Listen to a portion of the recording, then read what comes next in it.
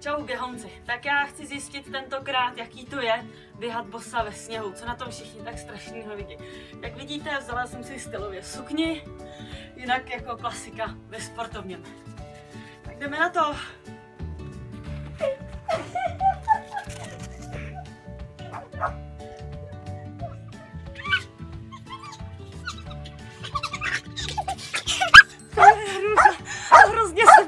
mě ty nohy budou dvě hodiny rozmrzat. Podívej se. Oh.